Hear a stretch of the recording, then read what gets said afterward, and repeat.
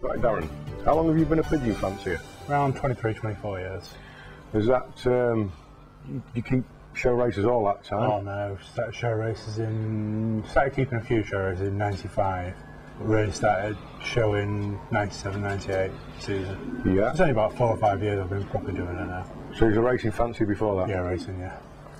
How did you get into show racers? Um, finished show, uh, racing pigeons with work and that like it was just too it was too time consuming really. So looked at something else. Um, maybe had a break for about four years. Then went into the show pigeon scene. advert in the paper from Jimmy Fitzpatrick. In Right. and up to ever since really.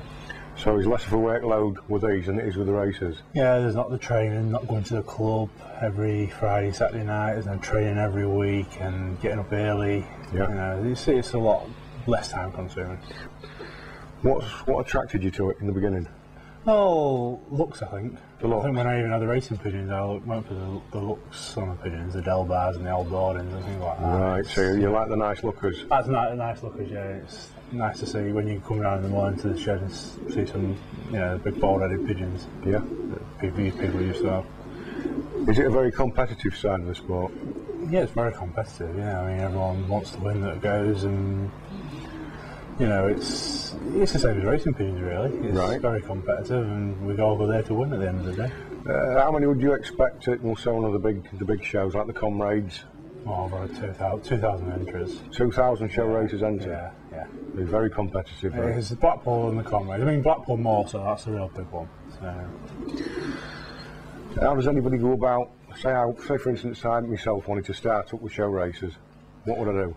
Um, go to your local, find out your local show race society. Maybe go to a show, word with a few the, the local lads. I mean, say the local lads, it might be about you know 100 mile sort of circumference of people that are starting, but know, there's not a lot of adverts in the racing pigeon like the sh- like um, well, like the racing pigeon in the home world, like the racing pigeons are. There's adverts every week, and they're for sale and that lot. Yeah. There's not so many with the show pigeon, so you have to get yourself about really. Right. Get to a show. Can you tell me about any local organisations, uh, show races societies, or Yeah, our local show race society is South Humberside Federation, Right. which is um, based in Gainsborough. We have- Gainsborough. We have four shows a year there. I mean, Gains- Gainsborough's still an hour from here. Yeah, I was just But you've got people coming from Durham, you've got someone coming from Norwich to our society. are they in the They're society? in our society, yeah. Yeah. Because there's only 12 show societies through the UK and Wales and Scotland. Right, that's pretty There's widespread then. Yeah, so, you know, it's, like I say, down in Norwich where there isn't one there, so they come here.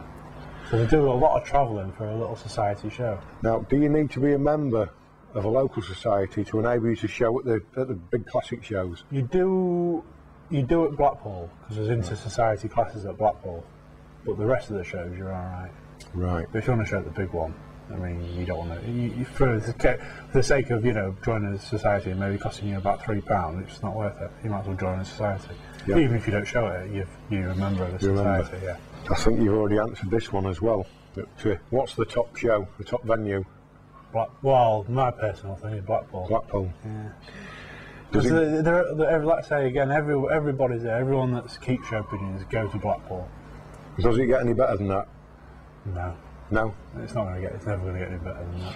Is there any uh, international showing? No, No. there's none of that. Because people that like you know we, we keep show homers and we call them show homers, show pen racers, different countries like America, Germany, Yeah. the Japanese and that. But they're not like these. They're just totally different pigeons. Oh, right. So these are the only type that there is of these type. England, Ireland, Scotland, Wales.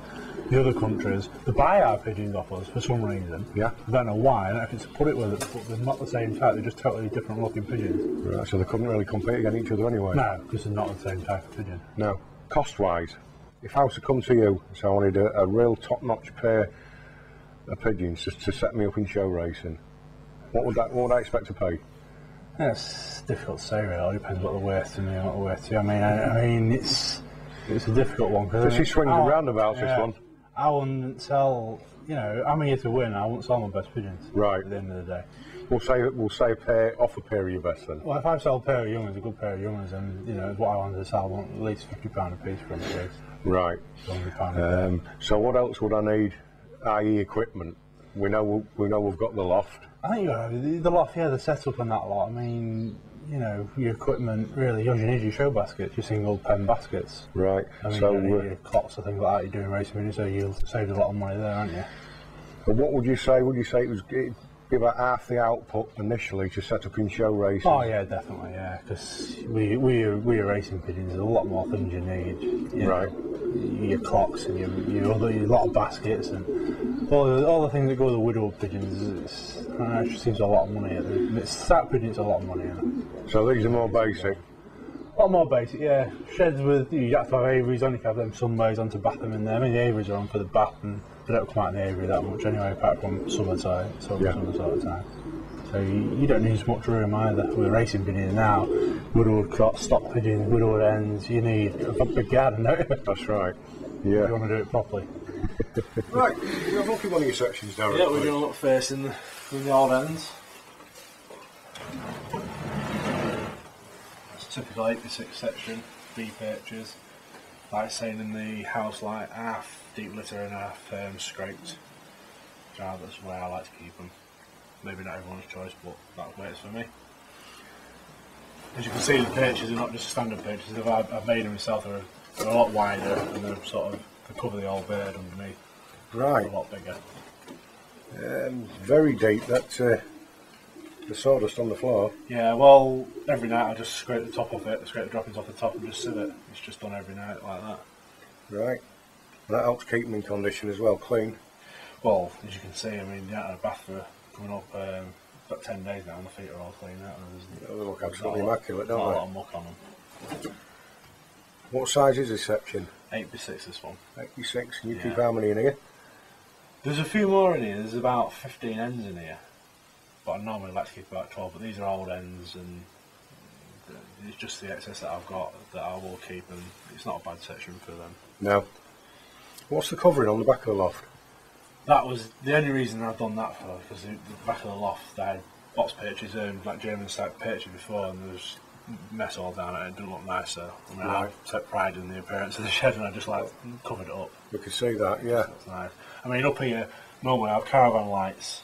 Like for the summer, there's caravan opening, um, like sunroof opening things up here. But I've covered them in because it's show season Oh, right. and they don't need them open now because of rain. But in the winter they're always open. In the summer they're always open. Breeding, typical breeding season. Um, how many youngsters would you breed? 60 to 70. 60 to 70. Right. Do they, uh, do they rear them well themselves? No. No? But I, but I have to met do really because I ain't got the room to keep. If I could, if I had the room, I'd keep racing pigeons and bring, bring them up. But I ain't got the room, so I've just got to met do. There's a lot of pigeons you lose throughout the year. Why do you think that they're not so good parents, will say? I think I, I don't know. I think because they're so inbred. Right. I, th- I believe it's that. I mean, when you go to these fancy pigeon shows and you see all these Chinese owls and things like that, they never bring their own young ones up because I think they're that inbred and they do that many things to them. I'd heard of some of the fancy breeds where they've got the real tiny beaks Yeah. that they're, they're not capable of, No. of feeding. So they're that inbred. I just think I think these are that inbred. They're, they're not like a racing pigeon. A racing pigeon, like you put a racing pigeon into its box and it'll stay there for the rest of its. Yeah. these are in and out of everyone's box fighting. right. They're not the brightest things. Are they easy to pair up? Yeah, they go down pretty well. Yeah, the about sort of the same as a racing pigeon, eight to ten days your first eggs. I mean, you get some that are slow, the older ones, but they're generally pretty good. Now, what we do, what we tend to do with the racing side of things, winner to winner in the open breeding winners. Do you do the Yeah, same? no, no, no. It's you, you don't do that because I like to keep mealies and reds separate. Right. The checkers and blues, won't, I won't mix them in. And like winner to winner, it could be just totally different for each other. You want looks and handling, length of keel, um, feathering, colour. You've got to look at all that sort of thing. Right. So you, you, you tend to keep the colours the same when you're breeding. Yeah. Red I won't to red, put- mealy to I won't mealy. put a red chested. I won't put a red that's got a big red chest with a mealy that's silver chested because she started getting the ackle Right. going wrong.